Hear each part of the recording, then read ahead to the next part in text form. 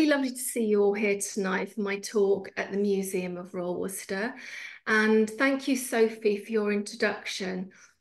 Um, I'm Dr. Lisa Sheppy. I'm an artist and researcher, and I was awarded my doctorate last year from the Centre for Print Research at the University of West of England in Bristol. My study was based on the historic and near obsolete technique of tissue transfer printing through the lens of contemporary printmaking.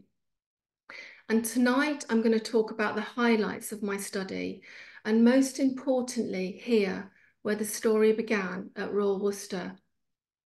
The process of transferring a delicate printed pattern onto porcelain began, began here around 1750 with Dr. Wall and Robert Hancock.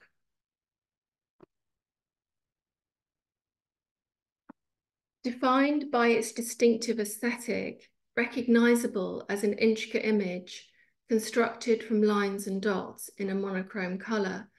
The distinctive halo effect to the printed marks are achieved through two separate firings when the color flows readily into the clay body, so the printed marks appear painterly with soft tonal ranges.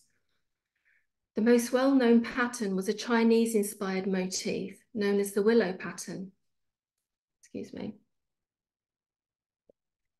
Tissue transferware has never been made accessible to art practice, even though the printed image offers distinctive autographic mark-making possibilities. So what was underglazed tissue transfer, transfer printed ceramics? It is a bit of a tongue twister. So I refer to it as tissue transferware and describe it in my study as an industrial craft. Much of the knowledge surrounding this craft has been lost as the pottery industries have closed or replaced printing on ceramics with newer and more cost-effective forms of decoration. Unlike many industrial forms of printmaking, such as screen printing, tissue transferware has never made the transition from industry to contemporary art practice. It uses a particular method of production, which in general terms works like this. The pattern is printed with ink containing ceramic material and oil onto thin tissue paper. This is derived from an intaglio printmaking process and the use of copper plate engraving. The printed pattern on the tissue is transferred onto, onto the ceramic form and remains in place with manual manipulation and the viscosity of the ink. The printed tissue is malleable and can therefore reach into complex three-dimensional surfaces. The pattern is underglaze and kiln fired on the ware before a final glaze firing renders the ceramic object resilient and impervious to liquid. During the 19th century, many blue and white patterns would have been decorated in this way. So in this talk, I'm going to talk about the highlights of my research project which took a number of years to complete, beginning with the museum archive here at Worcester, which provided the beginnings and the inspiration for the study. The aim of the study was to design and document a practice-based inquiry on a method of producing tissue transferware through the lens of contemporary printmaking. In doing this, a historic and near obsolete industrial craft would be reinstated and preserved for future creatives. Tonight, I'm firstly going to discuss the archival research I made at the museum, which provided the foundation for the investigation and enabled it to progress. The second phase of the research presents derived principles based from historical research, demonstrating a technically working method. The final and concluding part of this talk, I reveal my artist position from which I was able to respond, visualizing its artistic potential in a series of printed, printed ceramic artworks, thus advoc advocating a future for it. The archive at Royal Worcester initiated the research with detail of the transferware narrative uh, and Royal Worcester's contribution to it. The archive resonance throughout the study, delivering direct and personal interaction with tangible materials connected to creative human endeavour. In the archive, I had open access to primary material dating from the 1750s, from which I was able to respond, sorry, record, reflect, and respond creatively. During these archival visits to Worcester, I was able to study the unseen artefacts which contain the human hub of ceramic production at Worcester. Initially, I focused on the archive as a whole and searched for any material related to tissue transferware production, such as copper plate engravings, transfer pattern books, and tissue prints. However, I soon discovered other primary material meaningful to the project. This included design pattern books dating back to the 19th century a design reference library, and original paintings and drawings made by artists who were designers working in the pottery.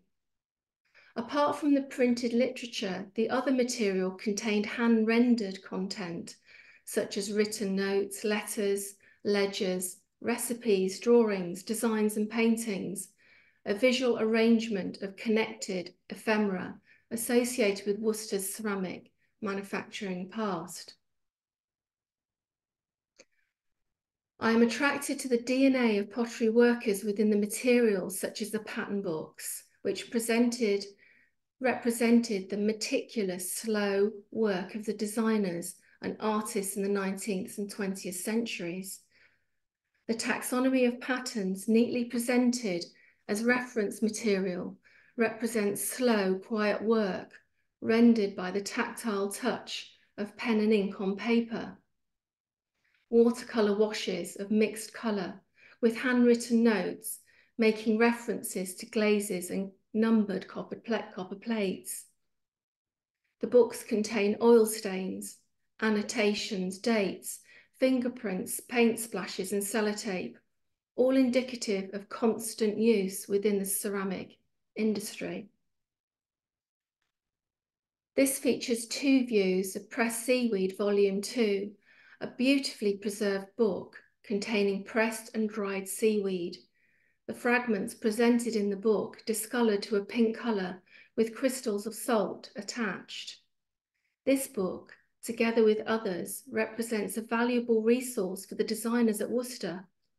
It was intriguing to view the design library as evidence of the reference material used historically, investigating the visual world as a component of the design, the design process. The Lady's Amusement by Robert Sayer, 1762, is a compilation of images produced by fashionable illustrators from that period for the purpose of inspiration and interpretation. The museum has co two copies, and I was directed to this volume as an example of source imagery from the 18th century. Many of these images would have been interpreted by the engravers from the pottery for transfer, for transfer printing. Robert Hancock was the artist and engraver attributed to many of Worcester's early printed pieces.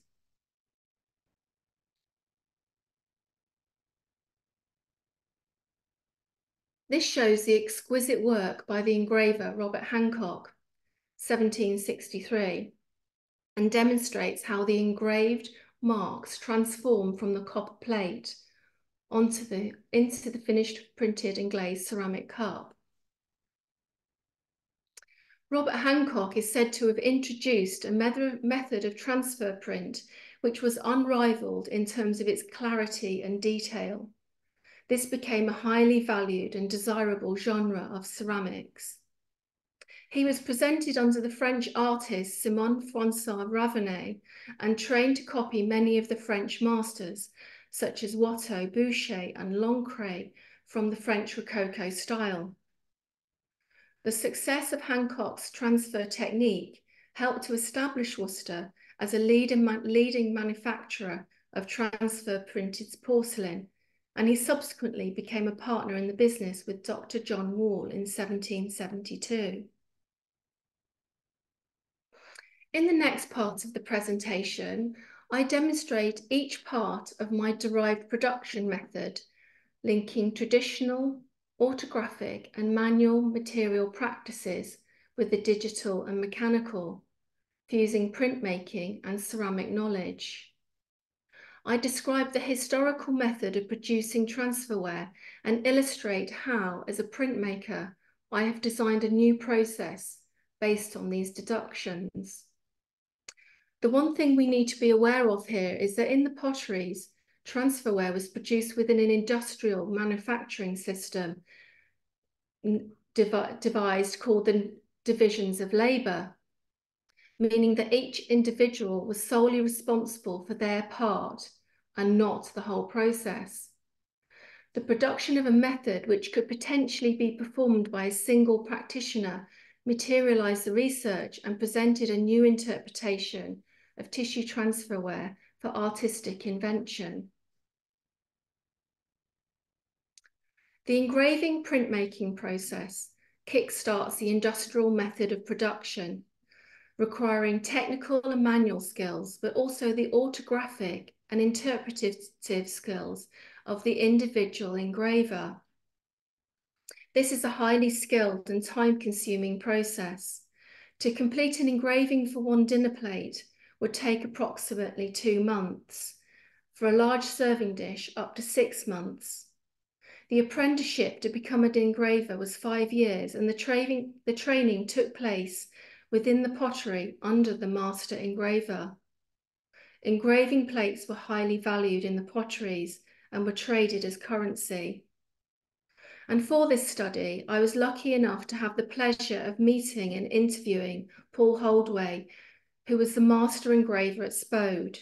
His input was vital to the understanding of the process, as much of his knowledge was tacit and difficult to describe in simple terms. When Spode closed in 2008, the team of 12 engravers became unemployed and never again worked professionally with the engraving process in an industrial context.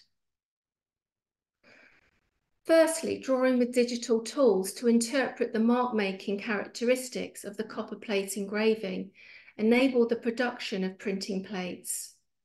At the outset, my objective was to equip myself with digital drawing tools so I could respond both creatively and technically, thus championing a method of printmaking previously closed to non-specialists. The designs were created with digital vector graphics beginning with those available on an iPad and advancing to the Wacom tablet and Adobe Illustrator. An online laser engraving bureau replaced the manual tooling required to construct a copper plate engraving.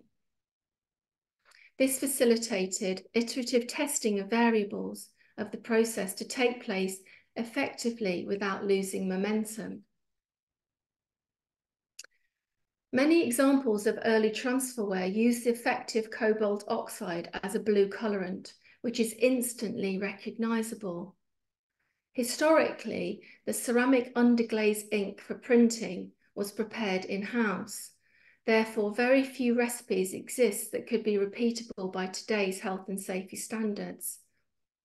The ink was a challenge and a threat to the effectiveness of the process, and this had to be overcome through manual dexterity and discovering effective components that blended and printed effectively. The tissue paper used for transfer printing was thin but strong and initially sized with soft soap. I would describe it as being rather like cigarette paper.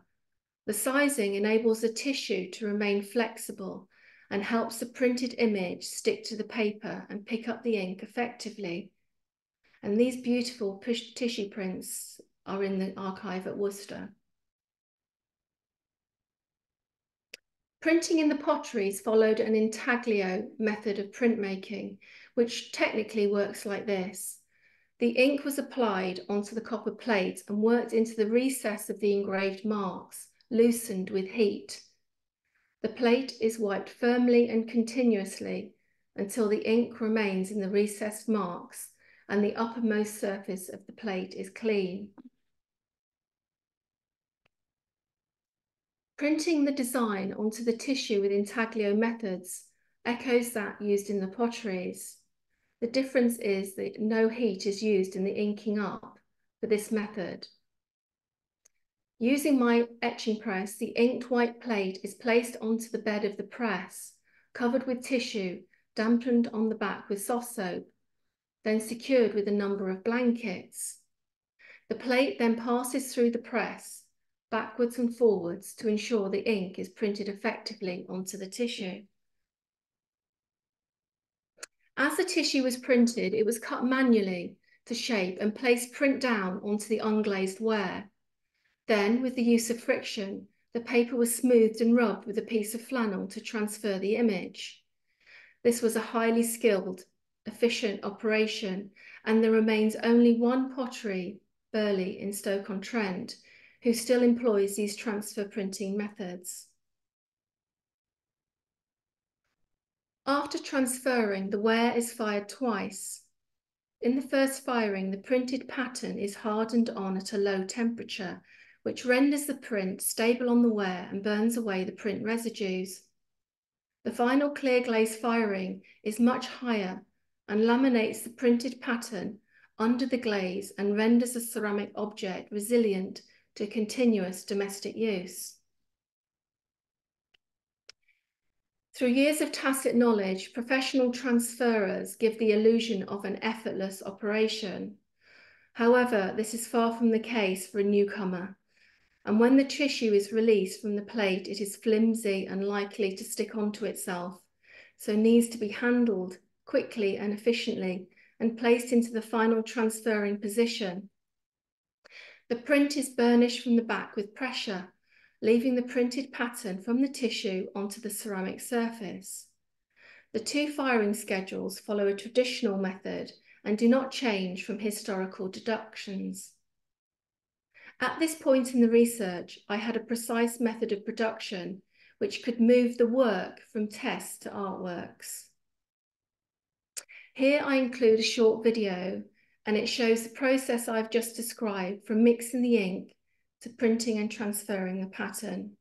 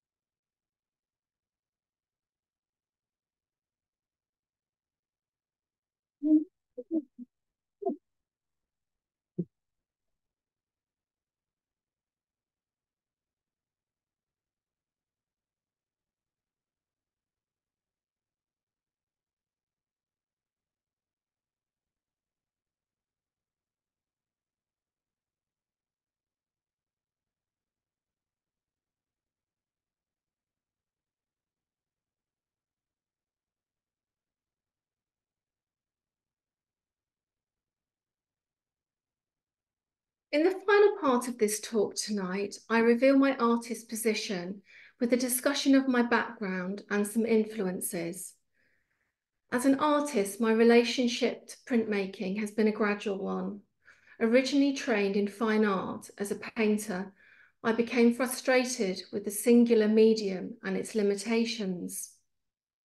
My continuous interest in printmaking and its transformative properties were initiated on my MA in multidisciplinary printmaking and beyond, as I was attracted to ceramics and glass as ways of carrying and encasing the printed image to explore the material connections between the substrate and the printed image. In a previous project, I worked in the archive at the Bronte Parsonage Museum in Haworth in Yorkshire, examining garments once belonging to Charlotte Bronte. The museum was previously the private residence of the Bronte family. No photography was allowed in this instance, so all responses were generated through drawing and note-taking with a pencil.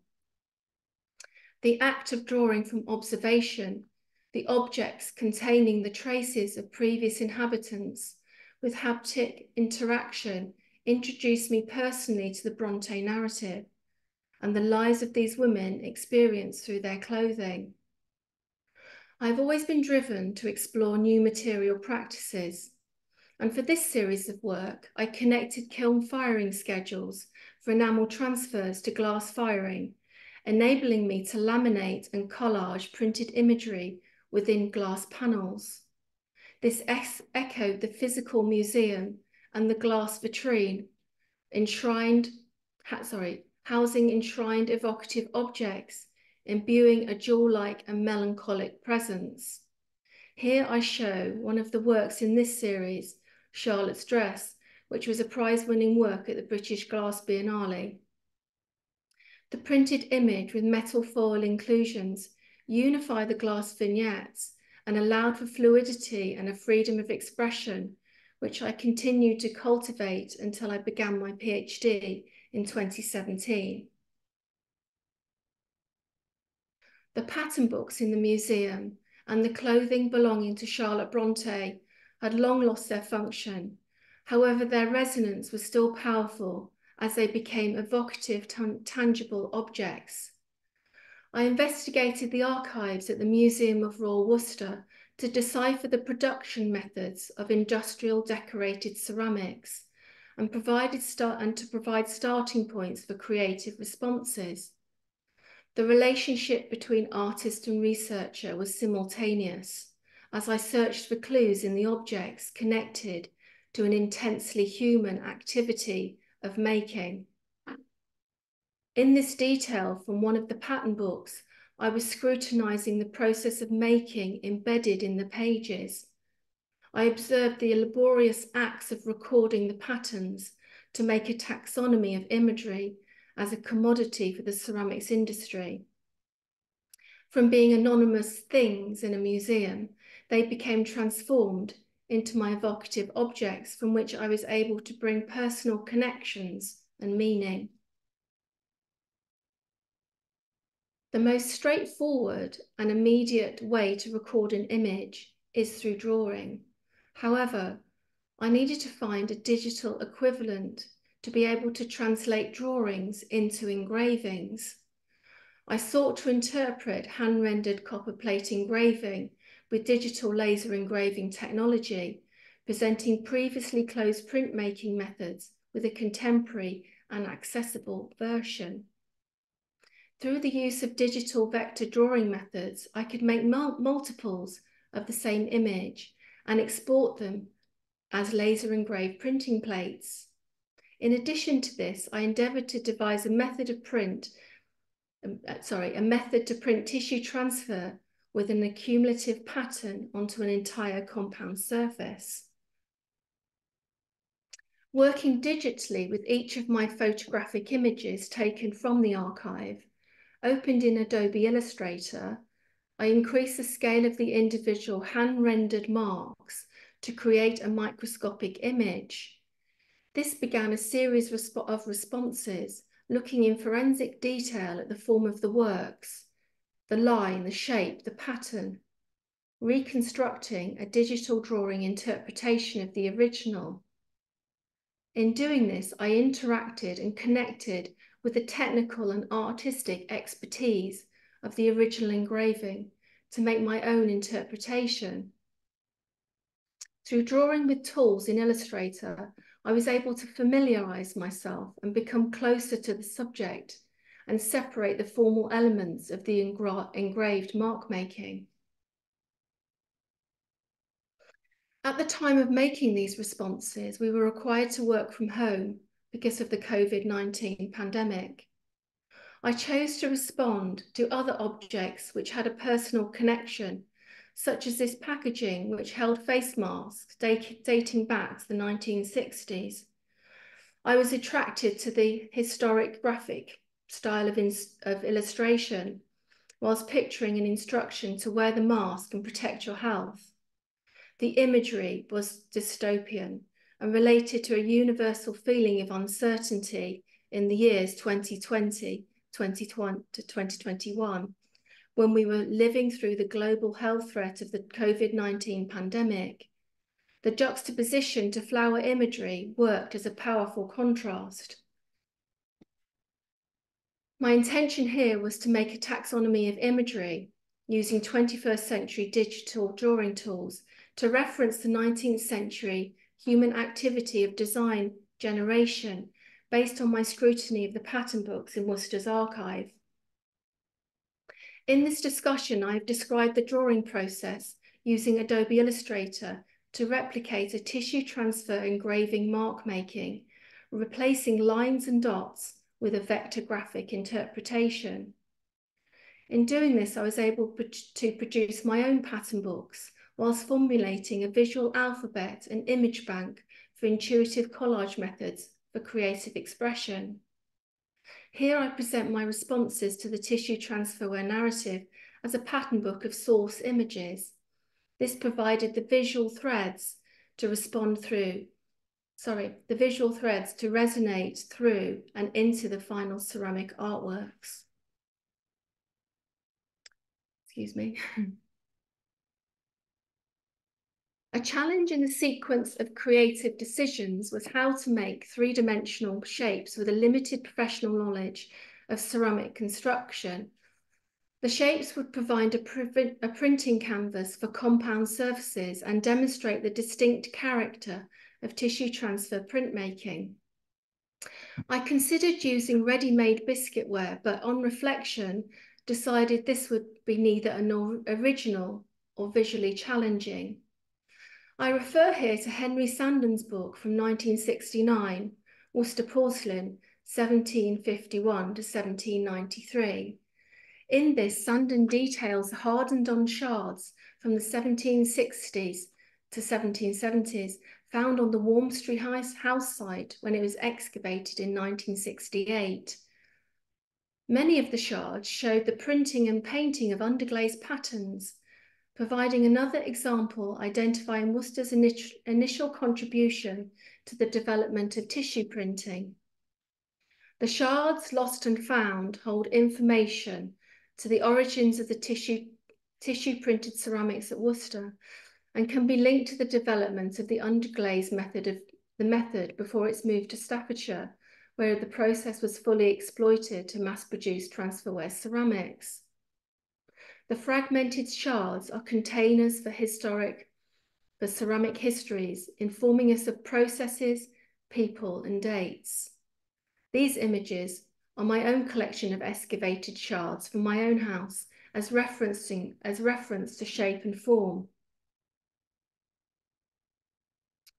My aim was to echo the shard fragments excavated from the archaeological finds that identified Worcester as an instigator of the original transferware process. After a number of discussions with my supervisors at the Centre for Print Research, I decided that extrusion of clay shapes would be a, a way to progress the study with clay forms on which to transfer print my designs. I discussed my ideas with reference to the manual and mechanical, combining the two fundamental elements and technologies, ceramic extrusion and tissue transfer printing. The dies for extrusion were fabricated using 3D printed technology and implied connections to the industrial past of tool making, whilst being innovative and from the 21st century. The cross-fertilization of new and historic technologies worked theoretically, thematically, and visually with the project. The clay moves slowly through the extruder and the hydraulic pump powering it through the die to form a shape. These images show the process of extrusion as a means to ma manipulate form with gentle and minimal handling to shape and model the clay. I was happy with the way the machine and hand could work in sync. Gently forming the shapes whilst twisting the form into a natural curve appeared crude, but suggested part of a functional object with a visual connection to excavation and archaeology. The abstract forms created through the extrusion at first alluded to industrial functional ceramic objects, such as soil piping and guttering. far removed from the decorative ceramic ceramics traditionally associated with transferware. Once fired to a biscuit, these are my compound ceramic shapes and they became my printing canvases. I chose, I chose to change my colour palette from the single dominant blue colour associated with tissue transferware to include a range of colours. The decision, the decision to use a new colour palette with multi-printed, sorry, multi-layered printed imagery further transformed the material outcomes from tests to final artworks. I discovered that the transferred colours could be collaged and layered without lifting the colours underneath during the transferring stage, enabling the printed image to become accumulative and painterly. Introducing a new colour, colour palette and moving away from the recognisable blue on white pattern brought a contemporary colour aesthetic to my transferware and advocated more of its creative potential. Here shows the results of testing new colours before committing to the final outcomes. These fragmented forms not only relate to historical findings and my archival study, but they also provided a complete 3D printing surface on which to tissue transfer print my collection of designs, imbuing the transferware narrative from my perspective, the printmaker. Collage as a form of visual language underpins my practice as a printmaker in these final works, where I manipulated and constructed the printed marks to build a composite image. Assembling and arranging a selection of images as a collage allowed for a fluid and creative way of making. Beginning with no real plan or preconceived design, the imagery emerged and transformed into a final printed object.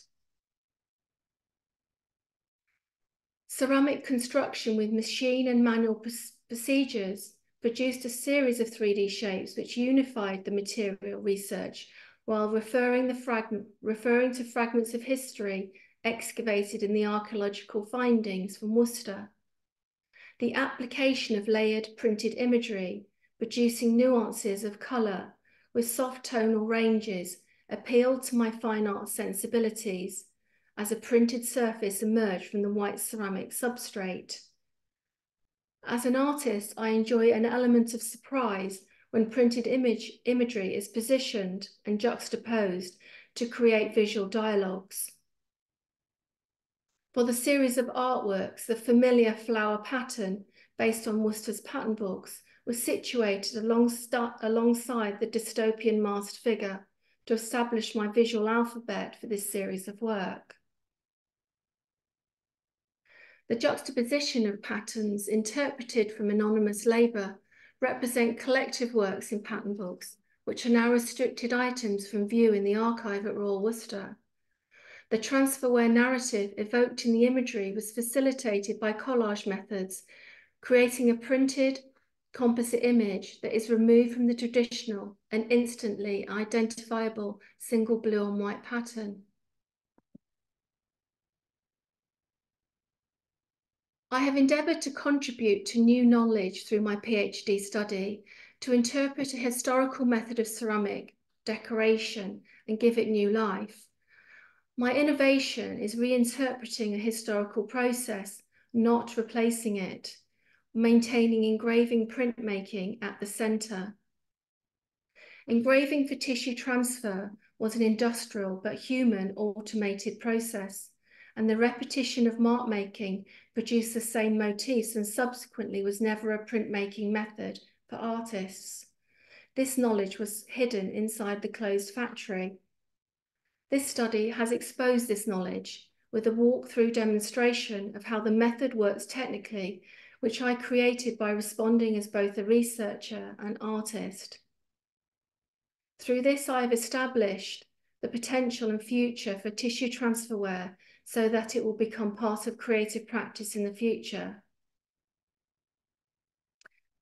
Since I've been awarded my doctorate, I've been busy sharing aspects of my outcomes and knowledge with others. I've exhibited a number of my printed pieces um, that were selected for the Royal Society for Painter Printmakers and the Woolwich Contemporary Printmaking exhibitions in London, as well as appearing in some articles in Printmaking Today and Pressing Matters. And I'm hoping to write a book. So I continue to be driven to material exploration and developments derived from my research, and I'm looking forward to new collaborations and projects. I just want to say one thing now I'm approaching the end of this talk. I'd like to thank Paul Holdway, who I think is here tonight, who I mentioned earlier, because without his input in my project, it wouldn't have been as good or enjoyable. Thank you for sharing your knowledge and your stories of working as a master engraver at Spode. May I end this talk with especially thanking Sophie for inviting me here and I look forward to exciting future events at Worcester. So watch this space. Thank you.